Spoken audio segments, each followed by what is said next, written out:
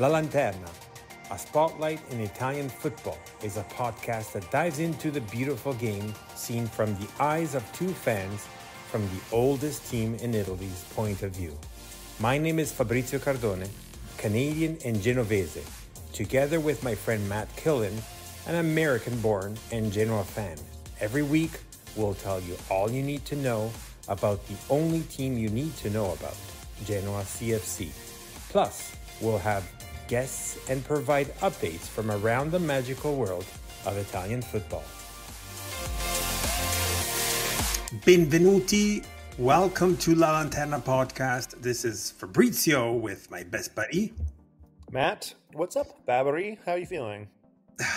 I, that's uh, you could hear from my tone that was a little bit off because peeved, angry, upset, All the above. disappoint, disappointed. No, I have to say at least we're, I'm not disappointed at all. Well, disappointed with the outcome, but Yeah. anyways, we're talking about match day 27. It was at the San Siro, Inter versus Genoa. Uh, we had quite an interesting, especially for, if you look at it from obviously from an Inter perspective, but if you look at it from also from a neutral perspective, I would ex- assume that it was freaking exciting match. I'd say so, although the guys in the US were doing their hardest to try to tell you it was a boring, one sided, inter dominant performance until it wasn't. I have such a problem with that stuff. The bias, for anyone listening overseas and concerned or upset about media bias not favoring Genoa or any team that's not in Milan or wherever, rest assured it also exists in North America. But it was a fantastic match if you actually watched it and if you'd have the persuasion to, to have seen this this performance but to your point tough one because we didn't get what we deserved and it seems like it's a repeat story for us we're, we're getting screwed out of points here i feel like let me wrap back to what you just said. I do not watch it through your North American streams. If I'm not mistaken, actually, you tell me, is it Paramount Plus? in the us yeah we have paramount Right. plus We don't have Paramount Plus, and I don't think, I'm almost positive on what I'm about to say, but I don't think that the audio stream internationally or the English international stream, neither, definitely does not take it from Paramount Plus. Specifically, I'm not sure if he's part of this, but it makes me understand of what that is all about. And I'm, I'm just going to say it bluntly. I have it a little bit out there against this want to call it journalist. His name is Matteo Bonetti. I know he's from Paramount Plus or Fox or one of those ones. Anyways, he's from the States. He's just your typical only looking for clicks and only talking about the major teams as if anybody else is just there to give the points to the big ones. And I dislike that type of journalism and I dislike that type of uh, of uh, commentatorship. Yeah, Matteo Bonetti is one of the guys in in the press room for Paramount Plus, and it's just look. I actually think the guys calling the match themselves were decent. I, I, I didn't find sometimes they can be a little bit annoying or whatever, and it just was it was for me frustrating because you you get into halftime and it's like, well, Genoa who are in a relegation battle, and it's like, dude, all you have to No. do is look at the fucking table. Like you don't even have to watch the games. Just you're getting paid whatever money you're getting paid to go on television and talk about soccer all day. It's an awesome job. Just look at the fucking table. And it was just so clear like the they showed the clip of Gudmundsson's failed cross and like, "Oh, well this is what you can't do if you're Genoa. You can't be this is a team that's just waiting to pounce an Inter and you're just making mistake after mistake." It's like, "Fuck off." Like have you guys been watching these guys all season? Like, okay, he had a shitty corner. Have you seen half of the shit that this Inter team have done this match? And then, you know, at least everyone in the U.S. was clear headed in, in how they were talking about the penalty, which I think we'll have to get to pretty quickly. And there was obviously some comments. I think you shared earlier today that the referees like no longer working matches for a while. Like, dude, what the fuck? Can we get a can we get a fucking break? Enough with these apologies. I mean, at least this time we're actually getting an apology. I don't think we got it against Milan that time that happened, or the time we got fucked out of it the last time we played Inter. So, uh, whatever. We're, I'll let you decide if you want to talk about this now or later. or we can do anything. So the match ends obviously two. No, there's no obvious, but there's actually there is actually absolutely no obvious thing here. But the match ends two one for Inter. And it was, as I, we said before, it was a super entertaining match. It started very strong hold for Genoa. Inter seemed for the first 20 minutes really to suffer, if you if I may add to that. Actually, to the point that a lot of Inter fans after the match, which if you remember, I did say uh, to our one of our past guests that out of all the big ones, Inter fans seem to be a little bit more mild or less. Um, I'm going to try to be a little bit, you know, censored here, but uh, less um, badly, obviously, and blunt towards their team. I still believe that compared to the other ones. Obviously, you always find fans that are still going to be rooting and be blind about their own team. At the same time, I think that Inter did suffer, and a lot of fans were actually that's where I was going to go with all this to say that a lot of fans were vivaciously saying on on, on social media throughout what's wrong with Genoa. What I want them a, doping measures to see what they have in their blood because it's impossible to run so much for 95 minutes and and to your point is like you've never watched the Jura match anyways so that, that's that's the obvious reason including the first leg because right. even though that tie goal that we started we scored first and then they tied because the push and it helped a little bit and that was a mistake also in the first leg if you were watching interista that match interista and i'm more leaning towards looking at those people that think well, what's wrong with Genoa? They can't run so much. They're all on drugs or stuff like that. Well, that's what we always do, and that's what Genoa is all about. And to your point, is like if you watch, if you had ever watched any other match uh, for Genoa, that's normal. I don't know, man. I, I just like it's it's frustrating enough that you don't always get. It's it's hard to find outlets. I think it's a big reason why this pod exists and why we're doing this all the time is because there's not a lot of English content out there for fans who care about calcio who maybe don't want to root for Juve or for Napoli or for Inter or whomever. And you know, you and I'm sorry that- again. Shout out to our friends from Atalanta, to our friends from Torino, to all those pods out there that are not yes. the typical six, five, three big sisters because that's what the culture is all about. It's not only about the big ones. And actually, I'm, I'm quite surprised and pleased at the same time. And there's three testate, we call it Italian. The three news uh, sports newspapers that are officially the national ones. Uh, and I'm doing this quote unquote because they're not really national, all of them, anyways. And they've always been super biased.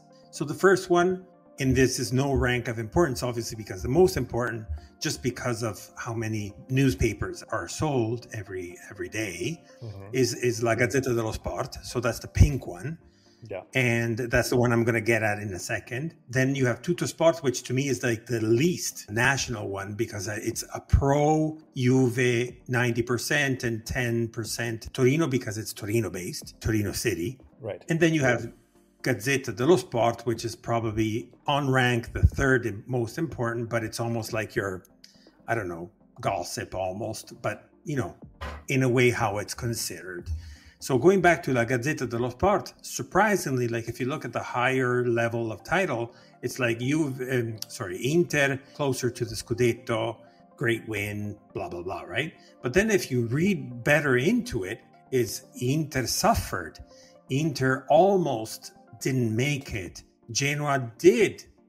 You have a good pal right beside you. Look at that. That's so such. You guys can't see it, but Matt's dog is right. He's on the couch, and his dog just went on the shoulders I was like, I have to share this because it's a very beautiful picture. And he went on the top of the shoulder of, of the couch, and it just went there, looked at him, laid down, and it put his his uh, his uh, head right on his shoulders. Beautiful. Anyways, going back to what I was saying, is uh, the Gazzetta dello Sport it was finally talked about a Genoa that almost gave a tough moment to Inter, was the one that maybe they were spoiled on the four now things and so on. They thought they were going to have another walk in the park, and they didn't.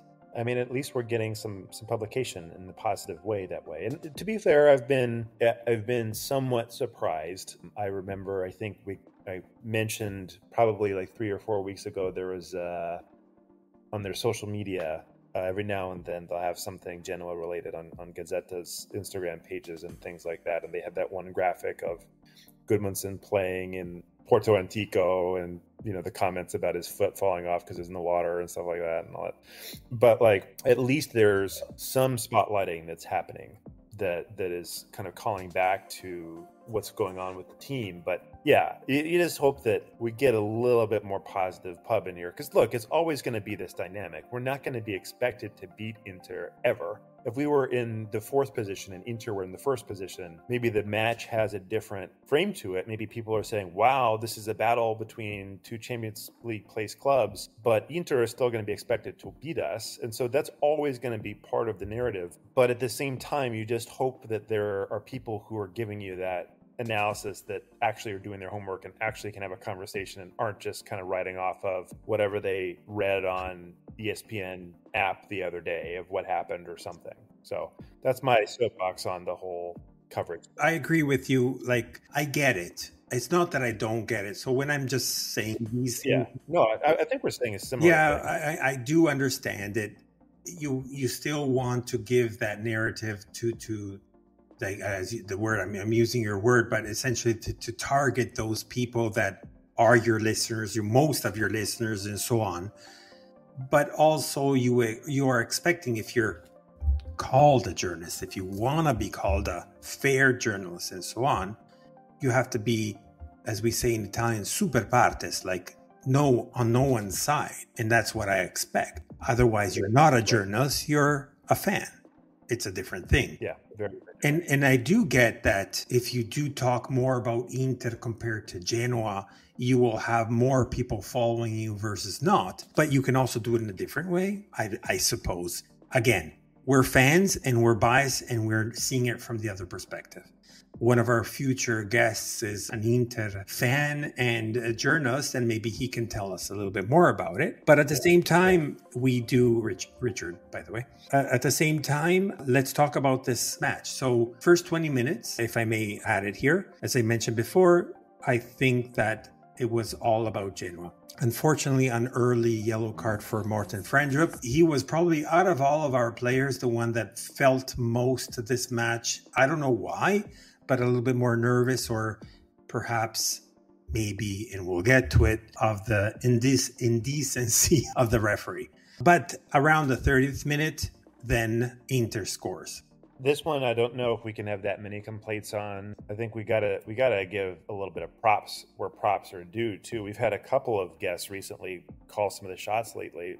Asllani with the goal, who obviously has been looking for playing time, looking to kind of break in. I think we've got to, to throw it back to Alex Donno, who had called this uh, in the in the pod we had previewing the match about maybe Asllani getting a goal. So it was you know really quick play from Inter, really slick movement and and almost like a counter-attacking style and and super strong too, right?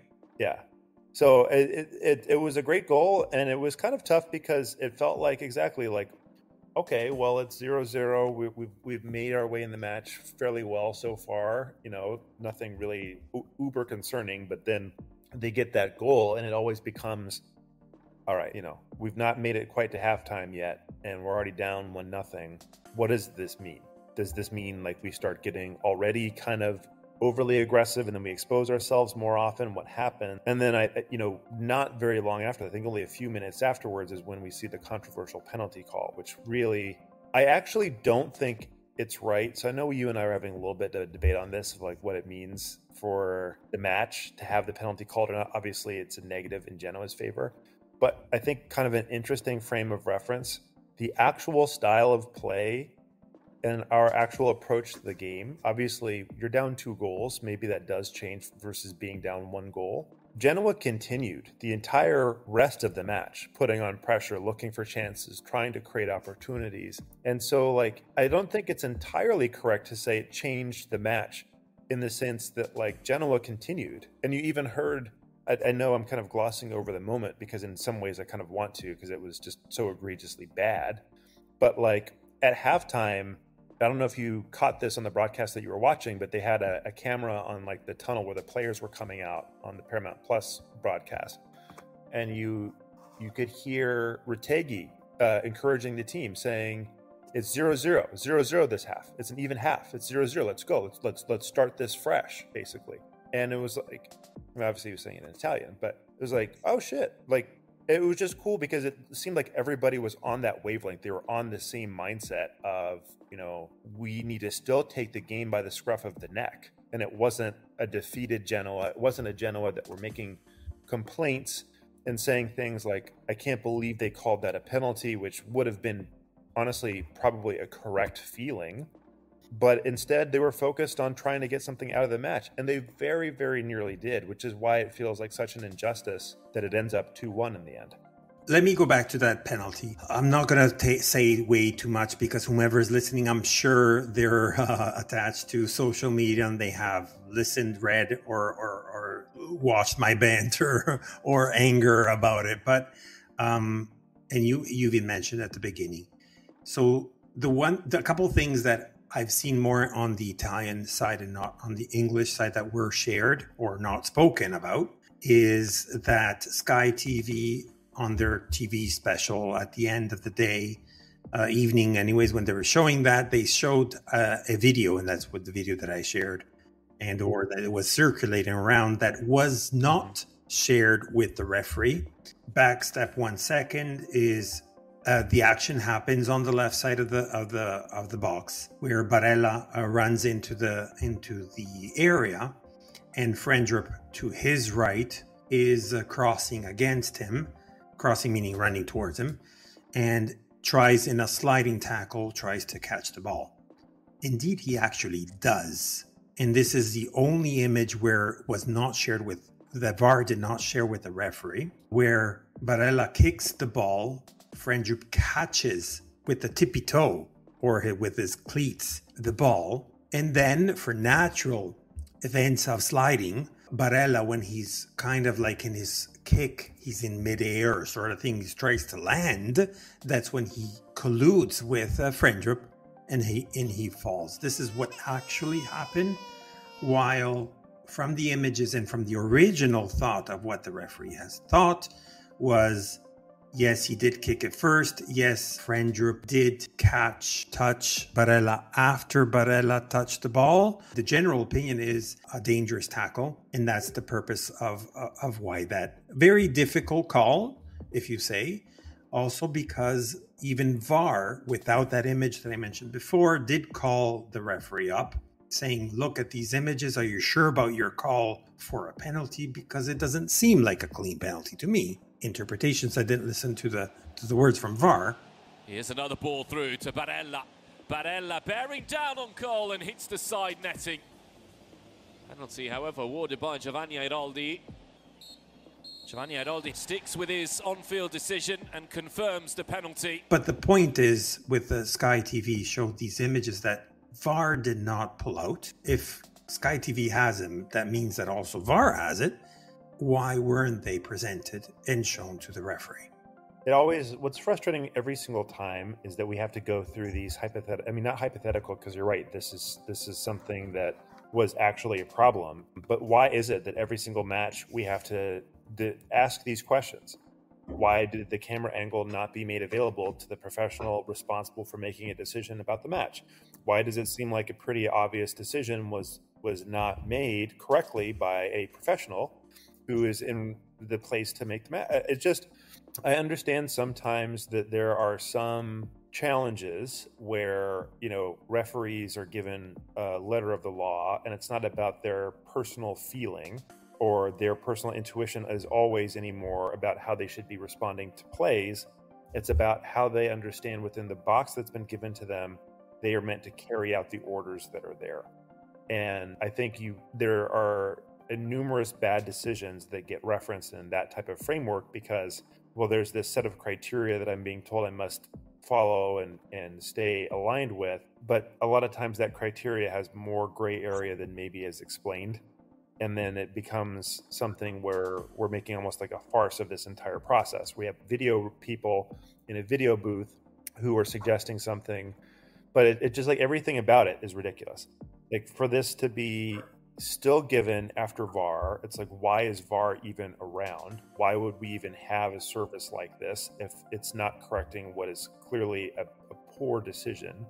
You know, at this point, you may as well just not defend. As soon as that guy walks into the the penalty box, okay, pull it. Just let him run. Like no more defending in the penalty box. That's just a defender free zone, and everyone just gets free shots from there on. Like that. That's where we are. Like if you want to say that that's a dangerous tackle and that endanger the player, and he should be awarded a penalty. I mean, what are we taught? What the hell are we watching? Like, what is this game anymore? Like, that's it's very much a normal play. It's not He's a not dangerous behind, play. that's He's the key not too, behind right? the play. He's not making this like that. If if he's a second and a half late and he's coming through the back of the player to get the ball, Matt, not even a second and a half, like maybe one tenth of a second. Hence, he still gets the ball. No, no. What I'm saying is, Oh, if sorry. if if he were to be, if he was to have reacted that way, a second and a half late from when he actually did, Okay. then maybe you could say that okay, it's a penalty because he's late to the ball, he's coming through, Right. he endangering the player. But the timing was almost immaculate in in how he makes that play, and and you come in and you say, He actually does because in that image, at least from what I've seen, it was quite straight in line with the ball towards the goal. So it looks like Barella is shooting that ball, kicking that ball, and that ball is going in the direction of the goal. I'm not saying that Martinez would not got, got it, but it's going in, in, in the ball in, towards the goal. And Frendrup with his tippy toe, as I mentioned before, deviates it enough and it goes technically it should have been corner but it was called a penalty having said that another notice thing that has not come out at least i noticed in the english sides was that the president of genoa which is professor zangrillo Yeah. after the var decision he has decided to leave the pitch which he had an official comment after the match perhaps almost a day after, apologizing for leaving earlier, but he did it more or less, his words or not, in the name of the fans and the team. And he had promised to the designator of the refereeing not to uh, comment badly about the referees. And he did also say, you know, we're we're all human. It's a very delicate, and I agree with this. It's a very delicate uh, job for a referee to be doing, especially nowadays with all these eyes and technology at hand, where sometimes errors become even more obvious, while before in the past they weren't, even though they were right. So he did say that. He also commended Gilardino's and his operate and the team and especially the fans by saying that these fans are incredible moments after this this you know this uh, interview or not it was not necessarily a coincidence but uh, as you mentioned just earlier on the refereeing official uh, has de- deemed that the referee Ayroldi, which was the referee for Inter Genoa, is going to be banned from refereeing for quite some period of time. So that's an indirect apology. There's nothing it comes to in our hand, but at least it shows that to those people that think that that was a penalty, if that happens, that means that it was a bad call. Also, because if you call it a penalty, the rule says that is a foul that caused a penalty, hence a yellow card, and that did not happen. So either you made the mistake of calling the the, the penalty, and, and after this, I'm going to call stop it. But either that, or if you call it a penalty, then you should have yellow carded Frendrup, hence the second yellow, hence the red card. Well, thankfully that didn't happen. but but yeah, it was ridiculous. Uh, uh, So I think the thing about this entire match and what's so frustrating, and I know you and I kind of like we were debating how much to even talk about this match because of this reason. It just overshadows and it changes the story. It doesn't necessarily change. I don't think it changed the way that the the team approached the match, which is what is so impressive and what makes you almost proud. It does make you proud as a Genoano because you look at these guys and they're at the Meazza, they're at this enormous ground that's full of people against a team that is running away with the competition right now. in maybe for some players it's the largest ground they've played in thus far in their careers in some cases because we have some younger players on our team and they didn't back down at all they continued to go after they continued to play and you have this amazing goal from Vasquez, which who I was so happy for. It was just incredible. Sabelli round Di Marco, sits Di Marco down. Badelj, Martin in the middle, and on the volley, and it's gone in. It's Vasquez, the player who's played every single game this season for Genoa, puts in a really good volley to make it into two. Genoa one, I told you and the guys in the group chat, I think my neighbors thought I was hurt when the goal gets scored because I started yelping out loud and screaming because I was so excited. But it's just this wonderful opportunity and this wonderful chance. We have these other chances later on. Retegui was a little bit off of his game. He had a couple of headers that weren't quite there. Spence. That's a good ball. Retegui's header. Genoa coming closer and closer. We had Gudmundsson was kind of flat footed on this one chance in the first half. So you have all these like moments and we're almost there but the point of it is that the club kept their ways. They didn't say we're 2 nil down we're abandoning how we approach a match. They came about it in the same manner and it was a really really well done match by Gilardino and by the team. And instead of having something to talk about and to say for that we have to go and talk about why the head referee is basically saying that this referee now can no longer referee matches because he keeps making mistakes, and why apparently he didn't have camera angles that other broadcasters had angles to. It's just like, what a ridiculous outcome.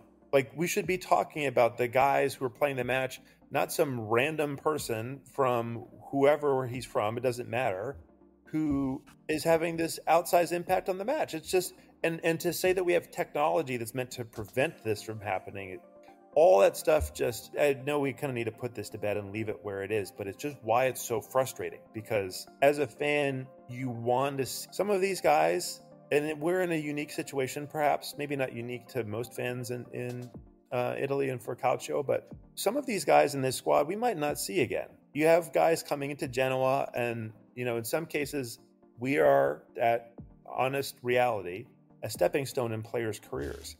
These matches are so important for us as fans. It's one of the only times we have to have them grow and experience their careers with us. And when you take moments like that away, when you take a draw at the Meazza away from something that I think the team deserved to at least have that to say, you take what sort of been a win earlier in the season, you take that away. You take similar against Milan away. Like these are things we're not getting back. And in some cases, we might not, you know, I'm not getting paranoid about summer transfers and stuff like that already. I just mean that like there's an increased stakes in a way for us because this these times are few and far between in in our fandom. And it's something that you just hope that when you see these wonderful performances and these magical moments, like how amazing would it be instead of a bunch of players coming to the side and giving applause to the the fans who were absolutely we've not talked about this yet absolutely fantastic at the Meazza that was incredible incredible away performance incredible audience more than 4000 we we passed our allocation. Just absolutely amazing. You see the players going and applauding and, and they weren't doing so shamefully. It wasn't like one of those matches where their heads are down and they feel guilty that these fans are there giving them a show and they're not part of it but how amazing if they really earned a point or maybe even a win at the Meazza and you see them wildly celebrating in front of the fans and to see the fans there. I know the fans stayed afterwards and sung songs for hours afterwards anyway, based off of some of the live Instagrams that you and I were probably getting uh, at the same time. But like, that should have been the moment. That should be what we're talking about. That should be the discussion. And instead, we're talking about some weirdo in a neon kit who made the wrong decision despite having video evidence to do the others otherwise. It's just like this is ridiculous. I want to put like a stone, like you know, put a cover on top of them and say yeah. enough about yeah. it. But essentially, yeah, seventy-five thousand spectators at the San Siro, over forty-five hundred, and that was just the the guest sector. A lot of Genoese and Genoani also went because it was open for everybody on and also other stands in other sectors so I would say somewhere close to 5,000 out of the 75,000 sure, to be honest, Inter fans uh, were some sort of protest, but all I could see here on the television was the Genoani fans that were chanting and chanting and chanting and chanting. And this is a television, it's not media. And, and even we were getting some videos also from different individuals throughout, and and you would see these this this amazing aspect of of what we are all about. So that's one thing. Second thing is this is the Capolista. We already knew it was going to be difficult. No question about it. This was not the match where we were going to make points. I said that very clearly in the last pod. I was positive compared to you and Alex with respect to the tie. Yeah. And personally, personally, I strongly believe even though the mathematic is not there. I know you and I talked about it just before the recording, but personally, I think that without that error from the referee, it was a highly likely match to be a tie. Yes. And and having said that, I feel I have guessed it just because of that, but um, that's just for pride. On the other note, I would say we faced the Capolista at par at a level that they have not felt in a long time, at least maybe with some other teams, but definitely nothing else compared to one or two maybe in the entire league itself. That makes us proud of of this amazing team that Gilardino has put together and for the likes of the amazing players that we have, regardless of them being with us the next season or not. It was it was I mean look, the way I think we should be looking at this match is with a lot of pride for the guys. I think they really, really played well. It was really, really well done game plan. It's hard to have any negatives or any people to be upset about. I think, you know, not everybody had their perfect game, but that's kind of not the point at all. You know, like this was a really well done performance. And I think it's another credit to the team that it's another match where, you know, we feel hard done by because we didn't get something from the match. Like you said, going into this, this isn't one that seemed like, okay, we're going to just take some points. And actually, by the way, I think we have to give Alex double credit because I'm pretty sure he called the 2 1 scoreline as well at the end with, with how it finished. But it's a credit to the team. It's a credit to the, our direction that in another match like this, we're feeling pretty shitty about losing a close match away from home, by the way, against Inter, who are easily the best team in the league. I much prefer to lose against Atalanta with that 4 1 the way we played rather than losing 2 1 with that not correct call. Yeah. Having said that, let's hear what Alex has to do with his audio. I definitely feel fortunate that Inter were able to take all three points against Genoa.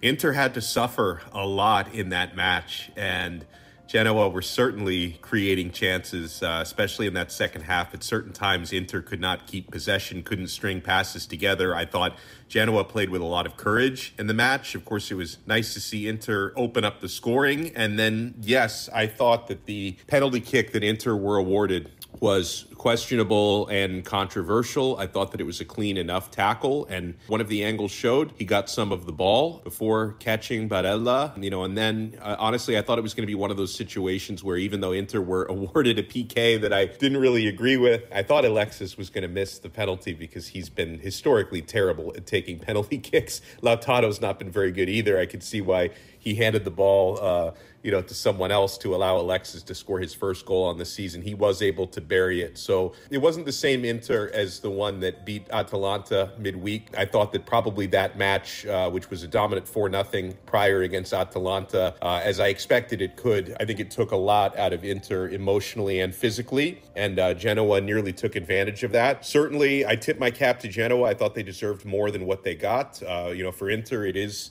getting them now a step closer to the Scudetto uh, and the second star. Thank you very much, Alex. That was wonderful. As Matt said, you actually called it probably to perfection better than we did. But, you know, you're Interista and you know how you, you even know. I mean, we watch it as well, but you know how strong that team is. I, I'm going to say the best of, of the season by all means the numbers say it, but also I would say the within the top five also of Europe right now. Okay, so we are at, at break and we will have a special guest coming right up. We'll be back with you after these advertisements. Um, I don't know how to say it in American. We'll be right back after this commercial break.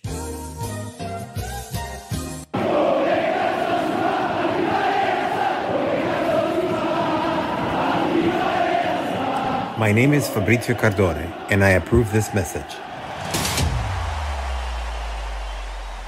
Bentornati. Welcome back to La Lanterna podcast. This is part two in our salotto or in the pub. We are here with a special guest. Again, we had a few several ones from Toronto, I guess, because it's my hometown, if if you if I may say, Matt. But I want we want to welcome our special guest today, which is Eli Zeldin. Welcome, Ellie. Welcome, welcome. Ciao, buon calcio a tutti.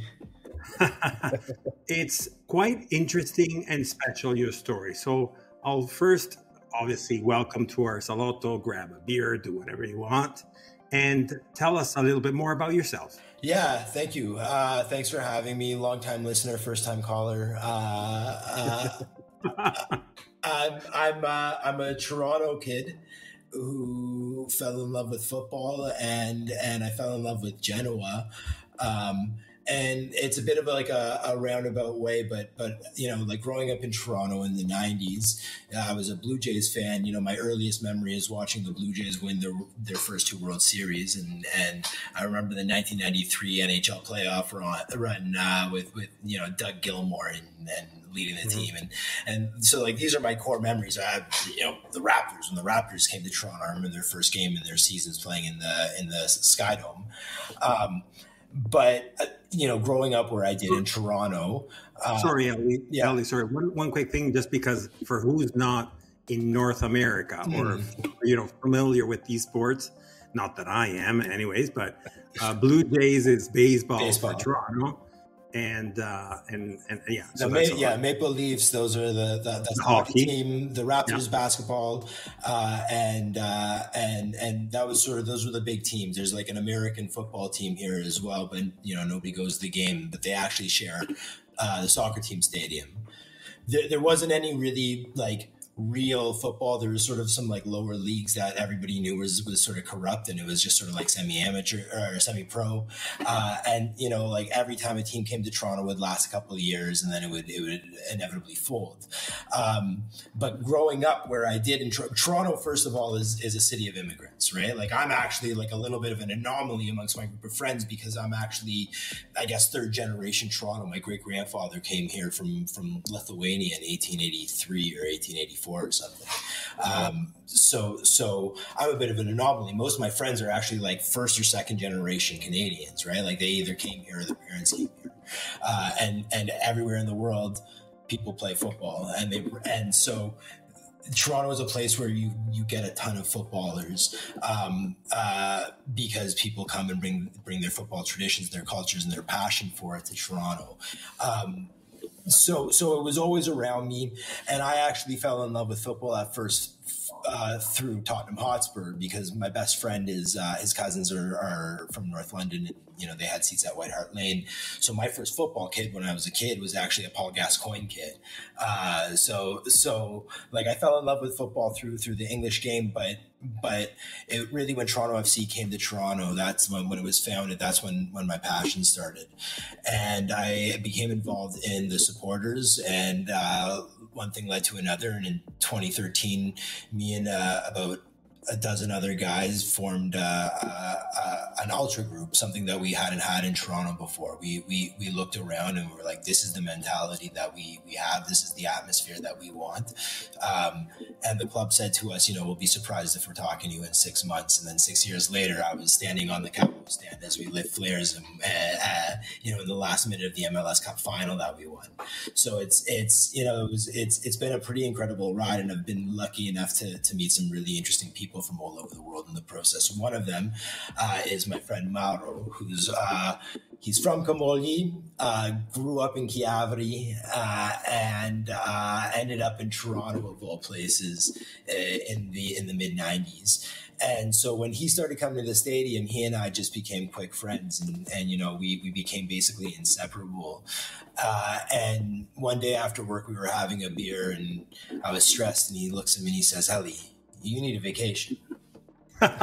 yeah, of course I do. Like, who doesn't? And he's like, you should come with me to to Chiavari, uh, to Genoa, and we'll, we'll watch some games. I was like, yeah, actually, that doesn't sound so bad. He's like, yeah, we'll stay in my town, Chiavari. My friends are all there. Like, like I'll like I'll show you real Italy. I was like, yeah, okay, let's do this. So we went to to, to Genoa in February 2015. That was the first time I went. We stayed in Chiavari, and like I fell in love with it.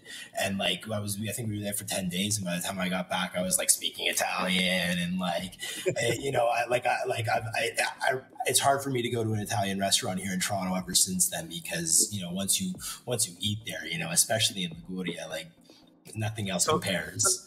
Sorry, just to jump in there, yeah. Matt. Matt, see, that's what you have to do. Take your wife, go for a month in Chiavari, go somewhere. Yeah. Well, you know, we didn't we didn't do like Recco and all those other places. Well, I, say, I, should, I didn't when I was there several years ago. So I've got a couple excuses to take her to some of those. Places. Yeah, you got to go get focaccia del Recco. Yeah, right, exactly. I would literally fly just for that reason. Yeah, like what's the point of going to Italy if I wouldn't go to right. Italy without going there. I'd like drive across the country if I had to. Like it's yeah, yeah, yeah, yeah. yeah. You have to go back. But yeah, long story short, I fell in love, and and I basically I like there were a couple of years there uh, before COVID where Mauro and I were going two, sometimes three times a year to watch to watch games, and we formed a little bit of a friendship with some of the ultras in Genoa, uh, and and it, it's really interesting. Um, sort of like coming in as like because I, I very much went to Genoa the first time because I, I wanted to learn. I wanted to see what other people were doing in other stadiums and bring that back to, to Toronto because we're we're a young culture here and we can sort of have we have the privilege, we have the, the luck of being able to cherry pick the best parts of other people's styles and traditions and maybe leave some of the darker parts like you know back there. Um and and and so i like i i travel for football. I, I'm, a, I'm a stadium hopper. And so and so it was really interesting to, to go to genoa and sort of be introduced to bomba who's one of the capos of, of the ultras. And uh and sort of just like be accepted uh, and they were like, "Yeah, you're one of us. Like you get it. You have the mentality." And and you know, like I've, I'm so lucky. Like I've I've seen some incredible games. I've seen Genoa uh, play Lazio at home, play Fiorentina at home. I've been away to Empoli. I've been away to to to San Siro. Like like I'm, just just because I fell in love with a team that's like, you know most people look at me funny when the, um, I say Genoa is my football team, and they're like, "What? Like the salami?" It's like, no, like the oldest fuck, excuse me, the, the oldest team in Italian football. Like, please, like, and it's frustrating here because in Toronto, for anybody who's been to, to Toronto, you walk around and and and you see Juve jerseys, you say Inter, you say Milan, you say like, yeah. you know, and it's like you you ask them, hey, where's your family from? I don't know, somewhere in the South Body, maybe. Like it's like oh, you're not like every time. I know. Yeah, and so for every me- single time, every single time. More in the Serie B when we were in Serie B, so that's more or less when we got a little bit more familiar with our pod. Mm-hmm. And if you, if anybody heard our some of our pods, you get like the true, the true, true tifoso. Um, and I'm the first that comes to mind just because he's the best uh, representation that I can think of is uh, our friend Raffaello from from Cosenza, mm-hmm, and mm-hmm. he's he much rather good for him because honor to to our brother, um, root for his Cosenza regardless of what league and whatnot. But he is originally from from Cosenza, rather than just rooting for a Serie A team that always wins, or you know, is uh, as we say in Italian, blasonato, which means that has had won a lot of scudetti or stuff like that. Just because it's easy to pick one of those glory hunters. Yeah. Yes and and as an aside, actually, one of the guys that that was like one of the that founded Inebriati, the the ultra group in Toronto here, uh, he's he's a Cosenza tifoso as well, and like on principle, because he's like my family's from there, I could like choose any team I want, but like no, that's Cosenza's my team, and and now you have to explain what inebriati means. Inebriati is just um, oh, it's it's a we're sort of it's like inebria. It's it's the Illuminati, right? Like a shadowy group of, of people who control the world, but but we're we're also just a bunch of drunk idiots because we like to go to the stadium and have some beers and jump around. So it's it's because also what we do, like what we, it's like for 90 minutes a week we play ultra. Like we dress up in our stone island and wear our black and we go to the stadium and we sing. But it's kind of tongue-in-cheek like i I work for a nonprofit, right? Like I'm not I'm not that guy, right? And, and right. that's what I was saying as well a little bit about being able to to like here in North America be able to to take the traditions that were that that from where we come from or or or that we admire like and take the cool parts take the flags take the take the songs but like you know some of the the, the political driven violence and and like hatred like no i'm right. fine leaving that in the past or in the old country right like i'm i'm good with that i it, but toronto's weird as well like it, we have I, I i love telling the story as well it's so funny because it, it we have like Serbian guys who support Red Star Belgrade standing next to uh, Turkish guys who support Galatasaray. They stand shoulder to shoulder every week in, in, in, in the stands on the Gradinata, jumping, singing for Toronto. So it's, it's, it's, Toronto is a it, like it's it's not like Genoa where you're born a Genoano and that's your family, that's your history, right? Like, uh, and, and like I, I kind of get that. I, I I have a couple of friends who are Doriano, and I still don't get them. I think they're kind of a, maybe, maybe a little sick in the head or something. Like I, I just don't. I don't understand it because there's a history to Genoa that you don't have with with Sampdoria, right? Like, like why why take the no name brand when when you can get the? Why take the imitation when you can have the real thing and it's right there? It's authentic, it's real, it's genuine, like it's and it's still alive, right? Like right. Genoa is might be the oldest team, it might be the first team in Italy, but it's it, it, we're not dead. We're not like some third or third division team. Like we're not in Serie C, you know, like yeah, we're not.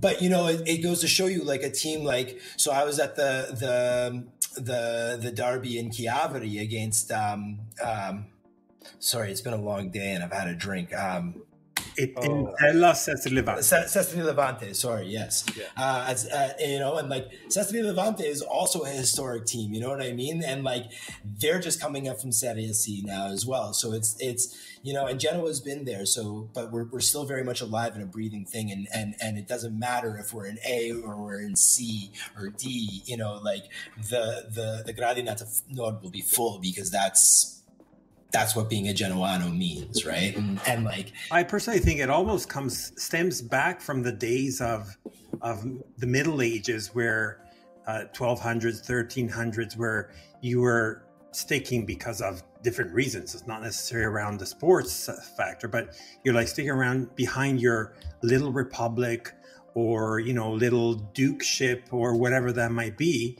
And since then, it always have like uh, I would say Tuscany would be one of the biggest examples of that, um, where, where, there's this huge, like humongous rivalry between the different cities, and obviously, as to your point, like we have this fake Genoa or not Genoa type of a team that is associating. They're trying to associate themselves to Genova, but um, no, it's, it's, true. Like Sestri Levante and so on. The, these are like uh, old towns, very beautiful, uh, you know, coastal and, and so on. Plus, they have their own history, and mm-hmm. not on top of that, also like their history from a soccer perspective or a football perspective. Mm-hmm. Yeah, and it's it's it, it always makes me very appreciative of, of like of actually like being able to still access have access to these clubs like at, at such a grassroots level as well because in, in north america it's so much more uh, sterilized. It's a hygienic experience. That's and and, and yeah. yeah and and so like it's really cool that like you know Sestri Levante is what like 1909 they were founded like they, they they were they've been in the top flight before but but now they're also still playing out of like their little provincial stadium and anybody can climb the fence and like yell at the team during practice. Like it's it's it's but that's what being a club is. Like you're a member of a club. If you're if you're supporting a, a badge, it's not because they're they've got Cristiano Ronaldo or because they have the most Scudetto or whatever, right? It's because like that badge is supposed to mean something. And so for me, like I'm uh, like I've taken on the the meaning of being a Genoano very like seriously, right? Because I, I like going back to my point about being welcomed by by Bomba when I first showed up uh, it's like okay they, they they've accepted me and like i have to i have to throw myself into it but like i'm so happy i have because i've had all these crazy experiences like i never thought that i'd be standing in the middle of fucking Genoa in the middle of the night lighting flares is, uh, for the 130th anniversary. It's it's these are things you don't dream of. You were there? Yeah, yeah, I was there that night. Uh, what? Okay, so uh, I, I spent a, a, month in Chiavari, right, for for my honeymoon. That's right. Uh, That's right. And and my wife loves Chiavari. I took her there.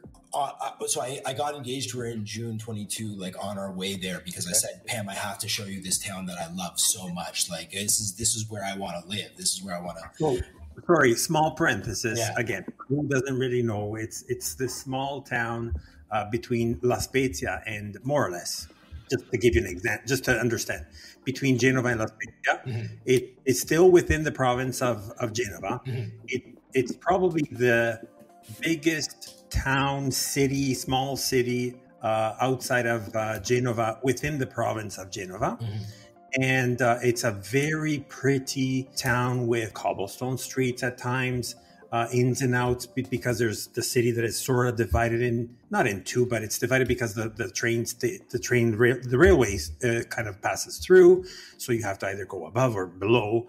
Um, then then this older part of the town where you have all these what we call them portici, which are basically it's a covered sidewalk mm-hmm. where all your beautiful um, uh, stores or whatnot that are there so even with any type of temp, because it's it's it's very mild, very I would say mildly mild, mm-hmm. uh, because we're not down south like in southern uh, province uh, re- regions or whatnot, but still.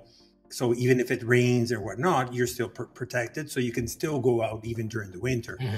and and it's such a beautiful feeling that you get it in Genova as well. Mm-hmm. But the difference is it's the city versus the town. Right. And and so sorry. Go go on, Eli. Sorry. No, no, no, no. It's a perfect description. I was like hoping that you won't give too much away because like we're trying to move there, but we don't want all the other mangiacakes from North America to come.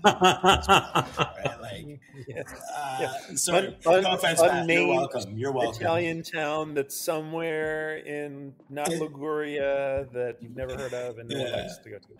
But uh, but yeah, so so that that's our favorite place. So initially, our plan was to get married in August in in Chiavari, but my dad can't fly for health reasons. So we said, no problem, we'll get married in Toronto. But as as a, uh, it's a sacrifici, right? Like well, we're gonna have to do a month of uh, a honeymoon to make up for it in Chiavari. Like, no problem. like, like uh, so, so that's how we justified it.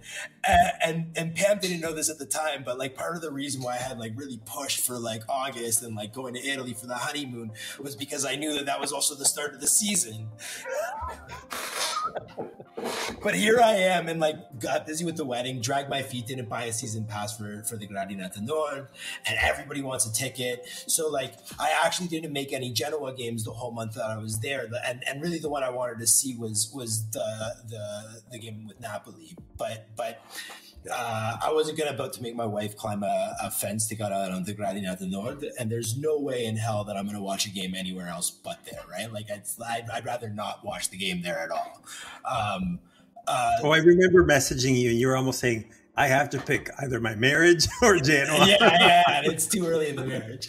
So, so, so I, I settled on going to three Entella games because it was a ten minute walk from our from our apartment. Um, but, but one of the things that we ended up doing was spending spending a couple days in Genoa, like over the course of the month, and we would like rent an Airbnb. So one of the nights that that I that we decided to go in uh, happened to also be the the the sixth of December uh, of of September, and we went out for dinner and we went back to our Airbnb and it was like a five uh, five minute walk from like the the piazza where where everybody was meeting, and and so then I spent the night out out there, just you know watching the fireworks and and and part of the corteo. It was it was just it's really special to see like how how special Genoa is to so many people and like the love that everybody has and and like you know and, and I, I always say it in a society in a world where and I'm I'm a, I'm a secular person. I'm an, I'm I'm a, a very non-observant person uh, uh, by any means. But but in a, in a, more and more secular world, I think humans crave like that communal ritual that that we we've lost, uh, that we've given up when we stop going to, to church or synagogue or mosque or, or what have you. And and I think the stadium replaces that, and that's a really cool place because it's pluralistic and it's and it's sort of like very um, it, the the the playing field is sort of level. There is really no like rich or poor at the stadium. We're all there to sing for the team, to support the team, and and so I, I think it's like actually like a really I, I really enjoy being part of those moments of of just like the chaos, but also the the the joy, the passion. Um, because the passion, the pride is is real, and it's some and it's something that that like shouldn't be taken lightly either. And, and, that brings me to ask you this question. So you started to say that you started to know about Genoa because of your friend Mauro, mm-hmm. who brought you the, the, the talk to you more about it and and, and about the, the, the passion and whatnot. Mm-hmm. So then when you started to get a little bit more closer to the colors, understand better the history, you even did mention about why pick the fake side of Genoa, pick the, the right side. But uh, why also? I guess this was a similar thing that happened also to Matt, uh, where you know he was playing with a pick, pick, pick, pick up soccer and whatnot, and people are saying why Genoa? He's like, well, it's fuck because I fucking like it or whatever, you know, right? Uh, because of the colors or what? What was the? What were the things or the thing that uh, that that caught more made you become or stick with it? Uh, it's you know it's it's a perfect question to segue from there as well because a football club like is a community right? That's it's you're part of a club. And so so for me it's it's it's um the connections right? Like it's the people. The people are, are what draw me in and and like and Mauro is my best friend. I didn't really have a, a, a, any skin in the game when it came to Italian football. So it was sort of like, yeah, of course. Like now I support Genoa. They're your team, bro. They're my team.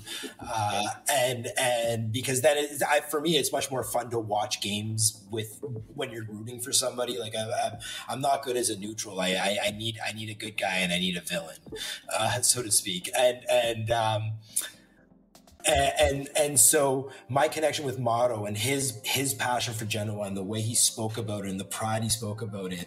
And personally, there are things that resonated with me. Like I studied history at university. Like I've always read history, um, and and so like when you say this is the first professional team in, in Italy, this is the, the because of because of Genoa is why you know we call the manager in Italy Mister. You know, the, right. the, even the even the story with with the St George's Cross, right? Like and how and, and, the story of why England and all the other republics of, of, of Italy adopted the cross. It's like, oh, Genoa are like the OGs. They're they're they are like the original trendsetters. Um, so so for me, that was like a very big part of the sell, um, and just like that tradition, like being being it like and and. To, to, be completely honest, I'm, I'm a little bit of a hipster as well. I'm not going to choose the if I, like if I'm not from if I'm not from a family that's like Juve or like or like whatever, some club, whatever. Like, I'm not going to choose the club that's actually going to be doing very well. Part of the reason why I really started getting into Spurs when I when I when I started following football more, you know, around 2007, um, was because they were they were kind of shit right? Like they they had, they had something there, but they, they weren't a good team. They weren't like I didn't want to be accused of being a glory hunter. Um, but again, I ultimately going back to the question, none of that, those things would have mattered had it not been for the people. So had it not been for Mauro, had it not been for Bomba uh, and his son uh, Pepe, uh, and, you know, and, and, and his wife Jessica, like, and and the guys from from the all of the clubs, right? Like like there's there's you saw in the Gradinata to know yourself. There's like a million different clubs, like Origina. There's Five R.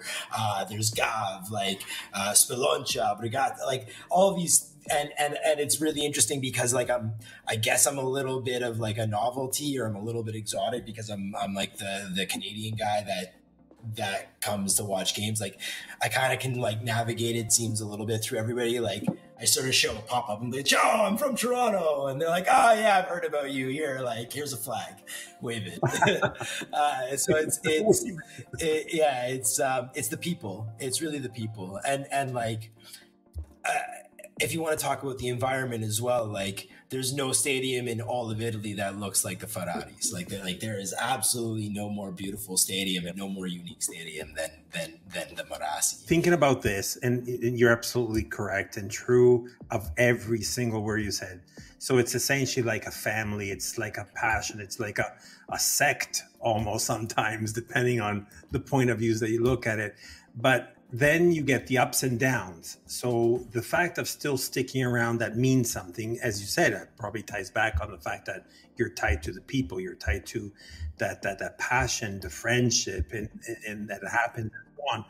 But I think especially not only last year, where you actually know I'm going to go even more. I mean that this has been going on forever, but the more visible because thanks to social media and whatnot. Matt is our, our witness when he went to to to the, to the Ferraris right at the tail end, the last match of our year of relegation. We already knew we were in Serie B. We we were already relegated. We lost even two nothing, if I'm not mistaken. He went to this match. It was already a given that we were. It was mathematical already certain that we were in Serie B. And even though we had lost after that match, he went around the, the city with with with the fans again. Uh, uh, you know flares flags chants etc and i think that was another step in his genuinity if i may say mm.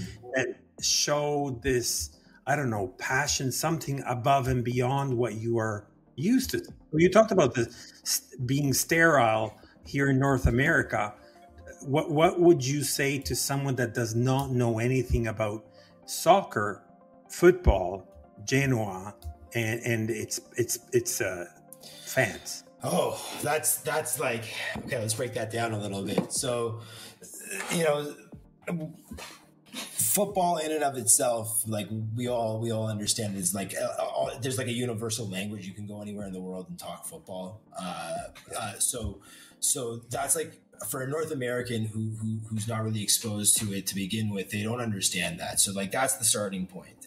Um, and then and then when when you talk about belonging to a club it's it's much more like in, in North America, we are consumers of entertainment that is provided by a franchise called, let's say, the the Toronto Raptors the technically basketball club or the Toronto Maple Leafs hockey club. Um, but the club is is sort of like a moot point. It's almost like a nod to it, it's just like a, it, it's archaic basically at this point, but nobody's really. It, I, guess, I suppose technically it's keeping up a facade. There's no club about it. We're meant to go to the stadium to watch the big screen between plays, to watch the play and, pol- and clap politely and stuff our faces with overpriced popcorn and hot dogs and beers.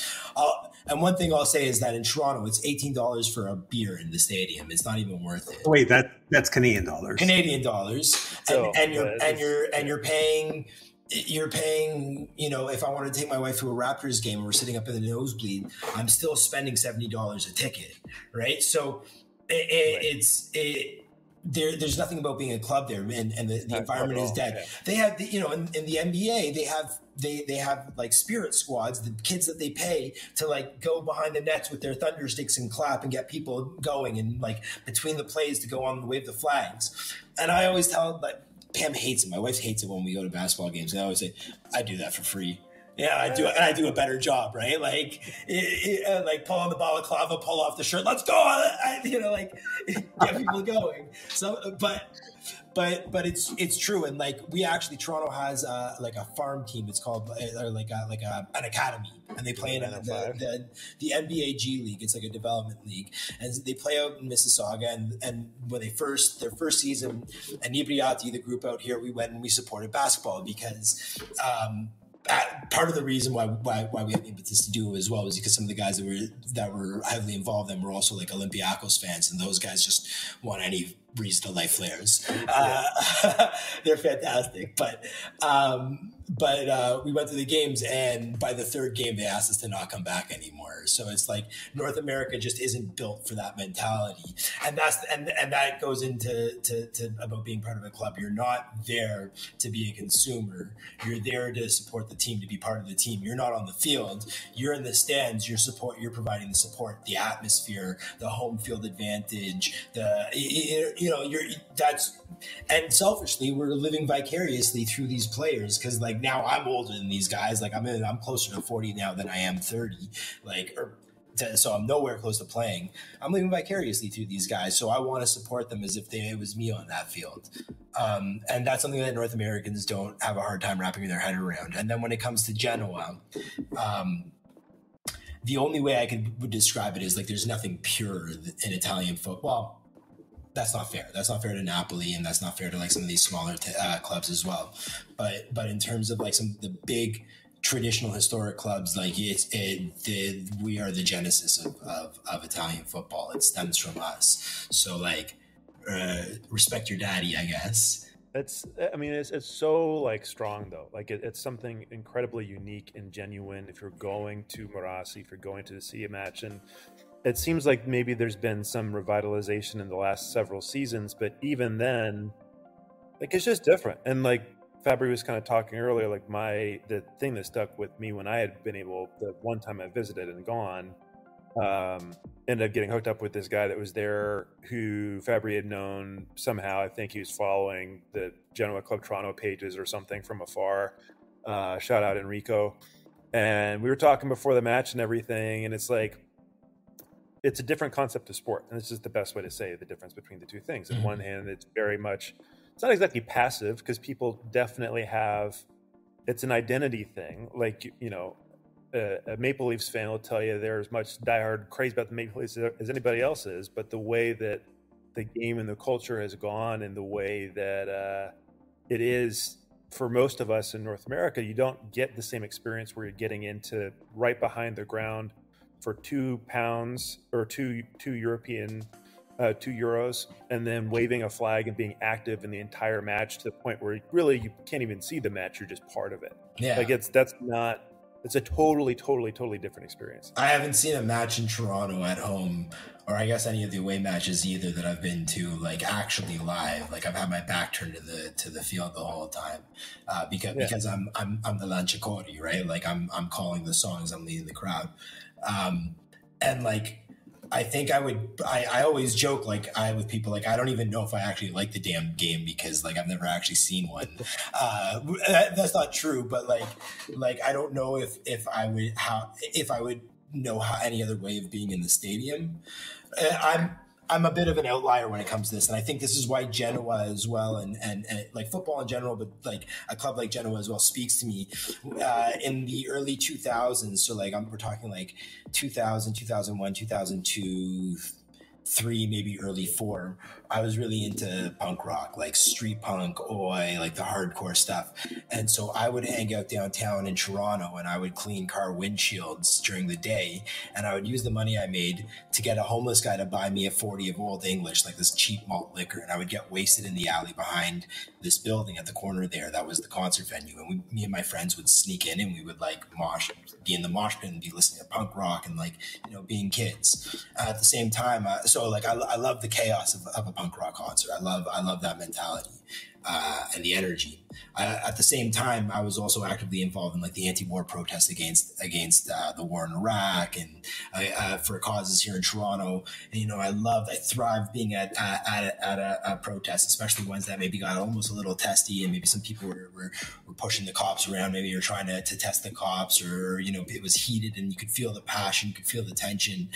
Um, and uh, so like sort of like that that being united in a cause the, that feeling in the stadium really speaks to me as well. And then I, I love sports of all kind. Like i'll watch cricket i'll watch i'll watch tennis i'll watch uh, just about anything because I, I i i, love you know i guess you know I'm, I'm a guy. I grew up playing sports. Like i love i find it entertaining um, yeah. So the stadium and, and football for me sort of encapsulates sort of all of these weird sort of like niche things that I really enjoy doing. Um, I always say that going to a game is sort of like one part going to a punk rock concert, one part going to a political protest, one part going to a sporting event. But the difference here with the sporting event is that you're not, as you said, a passive consumer. You're you're not. It's not like going to the movies. Yeah, uh, uh, at the sporting event, you are involved. You are part of this event. Um, it's like well, it's like going to again going to church, like or or, or I going to synagogue. There there there are parts of the of the service where the whole congregation will you know sing together. And anybody who tells you that when like you know if you're in a room like that and, and everybody like hits a, a, note together it's like if that doesn't send shivers down your spine then like maybe you're a sociopath or something. I don't know. Like yeah like you got to get your head examined uh, and the and the stadium is like it's it's just it's moment after moment of chills like that just just like of of like the energy of thousands of human beings pulling for the same thing at the same time you know like it's it's it's just electric and and I, I, you said it as well, Matt. There's something so genuine. There's something so authentic about about the yeah. Gradinata North. There's something so I don't know different. It, it, it's just like you. It, and and you know it is because when you go all other places in Italy and they're like, well, who's your? Eh, they say who's your team, or if they see you with something like like I have Genoa stickers on my luggage, like Gen- Genoa Toronto. It's like yeah, like what? Why? Like sometimes people can't wrap their head around. It. Like why wouldn't you love Juve? It's like because then it means I have to follow Cristiano Ronaldo to Saudi Arabia, and I'm not waking up at, at like three in the morning to watch Saudi Arabia games, right? Like, right. Uh, like if I want to watch bad football, I'll just walk down the street and watch it here in Toronto. Like I do that every week, anyways. okay, I'm not going to get into Toronto TFC, even though it might look like a little bit better this year. Mm-hmm. But it, you remind me um, when you were talking about certain things about one of our past guests. His name is uh, Alex Brotherton. He was a Man City fan. And one thing that he did say was, besides, you know, he thought EP, uh, rightfully so. I am not going to get into that too much, but the fact that EPL a little bit better than City, yeah, went up. But he did say that the fan in uh, I'm, I'm, laughing because the man is doing like who cares with the hand but um, he did say that uh, the spectacle the feeling the atmosphere in italy is as we say in italian ineguagliabile mm-hmm. means mm-hmm. not equal it yeah. by all means even with and i'm using the quote unquote here the epl which is considered again quote unquote the best soccer in the world. And again, it's like the EPL is farther ahead in the project that I think, and it, as fans, we should all be on guard. Uh, we should all be mindful of is is the sterilization of the game. Uh, the, the, English Premier League has actually taken a lot of notes from like the NFL, from the NBA, uh, from trying to figure out how to how to like. It, tamp down on on like they tangentially are you know maybe fan violence but really it's it's like how do you sell more advertising? Because if there are less banners being hung up you can there's more space for you to put up advertising right? Like it, it like I, I truly believe i'm maybe call me cynical but that's really how these some of these organizations are no, thinking. um and and and so england is farther along. It like look at juve you know like like uh, that th- their fan base like is is is all over the world. They seem to be everywhere, but their stadium is kind of quiet right? Like, um, it, they seem to be a club without a soul, but like we also know that there are a bunch of lying bastards, robbers, and dopers. So like, uh, like, it, uh, and especially with the Super League shit, and, and Agnelli can go rot in hell. Uh, excuse, I'm sorry for saying this, but and like you know, faccio la corna, but like, but but uh, but uh, but um, yeah, like that. That's not a team. That's like a franchise, and that's sort of like the the North American model. Um, so like why go all the way to italy for what i have at home right like like i i can i can get that here i i, I like it scares me the way that the, the game is going. But the fans in England also they always have a different a different mentality. But like since Thatcher as well, you've seen there, there's a different intensity in the fans, and that's where you get this whole thing. Well, oh, we only sing the same song, these same couple songs, and like it's banter. It's like yeah, but it's kind of fucking boring. And like I, I'm a Tottenham fan. This weekend we we we came back and we won three one. Um, but only in the second half. And the stadium was quiet. And it was only once we got our for uh, the, the the tying goal that the state the, the crowd really got behind the team. And it's like, why sit through 60 minutes of, of, of anxiety when you can actually maybe like create a little bit of an atmosphere and give the team a bit of an edge, right? Like like why like if you can do something, why why not why aren't you doing it? Right. Um, so so there's a different mentality in England. The the fans in on the continent are, are incredible. What I love about the fans in Italy and uh, and I you know there are dark parts of of, of tifosi culture uh, in, in in Italy as well, but there's a little bit of a playfulness. There's a little bit of like uh, a tongue in cheek element to it, like like or a wink and a nod. Like they also know that it's a bit of a laugh. If they're, they're it's it's a little bit of a of a game. Um, to a certain extent like like don't get me wrong there's tons of violence with the police and amongst other fans and and like fans die right? Like it's what it's it, we're just celebrating the 30th anniversary or the 31st anniversary of um of Sp- uh, Spagna right? Spagnolo. Sp- yeah. So so you know that, that it is there but but like again I've I've had small parenthesis for who's not too too familiar with it. This was a young kid back then that unfortunately got killed because of stab- being stabbed from a Milan fan just outside the doors of the stadium before the match. So yeah, to, to, rightfully so. So Eli's point is is is is dear fault for the fact of this should not happen. Yeah, and don't get me wrong. Like I think like what what was that game against um, what was it, Siena when when we had the match called called off when it was four one, like and and a lot of daspos were handed out for that. But that's absolutely what you should be doing as a fan of a club. And that again, going back to the first thing, like I think a lot of North Americans have that hard time wrapping their head around it. Um, but, but yeah, like if you're that was the match that we we called the the, the players to have their, their jerseys. their jerseys, right? Like like you don't deserve to wear this shirt, right? Um, and and like listen, people, like we're not the ones to send the head of a pig Yeah. to the to the presidents. yeah, That was just embarrassing. Though. That wasn't even like a. That wasn't even like a scary move. It's like, man, you guys watch too many like mob boss Mob movies. Like, yeah, going but like, I, and again, this is no disrespect to my friends in Greece or Serbia, but like, there, there's like a darkness as well to to, the, to to some of the football, the elements of football culture Yeah. there that that that Italy does lack. Um, and I, I, the, and and generally, you go to the stadium, or at least for me in Genoa, it's like, yeah, that like like it, it's a bit of a laugh. It's it's it's a it's a bit of fun. Um, uh, it, it's it's a little bit of uh, there's something a little bit playful to it as well, right? But ah, man, it's it's making me just want to go back, and I'm I'm like I'm on a little bit of a tangent now, just like thinking about all No, the but that I love but Elliot, I, I like where you're going with it though, because like, uh, so I'll be honest. Obviously, we um, match against the Inter didn't go the way we wanted it to go, but the the support was all over social. Just seeing uh, Rosso blue colors and seeing how loud we were, I was chirping my Inter friends hard the whole time. Like, I don't think there are any Inter fans at this match. Is anybody else watching the game besides Genoa fans? Well, wait, wait, wait. To their defense, I have to be honest. To their defense, there was some sort of protest that they that was going on. So also that did help to our cause, which is fine. I don't care. But at the same time, I, I, sorry, just one thing I wanted to to, to, sh- to share that on the on our social social media pages that I had uh, posted this thing about this um, on the Genoa um, uh, website on the Ge- Genoa social. Sorry, this guy that was oh, by chance in in Milan.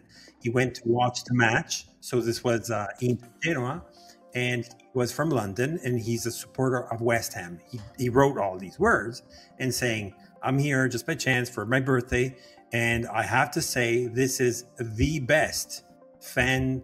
Uh, ship that I've ever seen on an away game. yeah. That's fucking awesome. Because you know that guy's been to like championship game two and West Ham were down and stuff like that. So he's seen it. And like the thing, the reason why I brought that whole thing up, it was obviously an incredible showing there, but it reminded me of the one time that I had gone myself. And like while you're in that section with the ultras, it's not like a bunch of guys with bandanas and scarves and you know whatever else they might be carrying. Like there were like families right next to me. too. Yeah. Like there's there's like a combination. It's not just like a bunch of hardcore dudes with like some sketchy tattoos about some weird like ideological stuff. Like it's a lot of like normal people who are just really vocal for something they care a lot about. The guy, the guy who who like leads the ultras in Genoa, or like who is like at least organizing like the tifos and like and, and handing out the pyro and organizing the pyro show for the for the anniversary, looks like my uncle Art, right? Like he's like he's like a dentist who wears glasses. I was like, yeah. you know, and the first time I came here, I was like, this is this is your like capo. It's like ah yeah. okay, because like again like uh, you, your listeners can't see me. I'm not a big guy. I'm like 5'8", 170 pounds. Like, you know, I keep in shape, but like, I'm no, I'm no, I'm not a lean, mean fighting machine. Like, uh, like I'm not threatening, right? And so I, I, always had a little bit of, a, of an imposter syndrome as, as the capo and as, as, as Lanciacori here in Toronto, uh, because I always sort of like, I had this image from like maybe watching too much, uh, too many movies like Green Street Elite or, or Okolo football or like, you know, or, or, or the YouTube videos. Yeah. The, yeah. The, or YouTube yeah. videos thinking like you have to be this like tough, intimidating guy. It's like, no, I'm actually just a really good Lanciacori and I'm good at my job. And actually the best thing I can do is being, to be a capo and to, to to, to lead a group and to, to lead, uh, especially here in, in North America, like a nascent community, is is to be friendly and welcoming and to bring people yeah. in. Yeah, yeah, if I love this so much, then maybe other people should, and, and it's a joy to share it with them. And that's actually like the I think the the main lesson I took, especially for my first time in Genoa, was the lesson I took and I continue to take. Uh, and it goes back to being part of a club. It's like you're never too old. You're never not cool enough to to be part of uh, uh, of, of Genoa, to be part of a club, to to, to have a home on the Gradinata Nord. Like you, you are you're important you know, as a Genoano. And, and I think that's really cool. So before we get into the, the next match, which I, I, suppose is where we're, we're we'll, everybody's also waiting for, but yeah. there's a couple of things that I wanted to talk about. Uh, sorry, to, to, to, wrap with mm-hmm. is Lanciacoro, of course, means uh, just for who doesn't know, is that individual that is in front, as he said, he's not watching the match, and you were who's not used to that is like, what does that mean? He's essentially watching the whole gradinata or curva because most of Italy is more uh, accustomed to hear the word curva, which is the stands, right? And they have usually, depending on the stadiums, if they allow it or not, they have these megaphones or they just screech out of their lungs. And, and these are the ones that are the ones that start the chant, starts the song, start every type of cheering possible imaginable. So they are the heart of the TIFO. And I have to share with everyone that is listening right now that Eli is that person that I've shared a few times, and I know it was quite for a long time and still is circling around all social media, and that means everywhere about this group of English speaking people because you could hear it from the accent that were chanting with their hearts Blu cerchiato pezzo di merda. so I have to say, watch it on YouTube, watch it on our pages on social, search it. This was nonetheless Mr. Eli. Tell us a little bit more about it. yeah, that was, I think that was like 2016 or 17 uh, and and it was the start of the season. I think it was my first game. It was the first home game of the season, maybe the second one. No, for TFC. For TFC, yeah. Uh, our season in, in Canada and the MLS season is, runs from uh, well, the first game was two weeks ago, so like end of February uh, through the regular season ends in October, and then they have the playoff format that ends in in early December.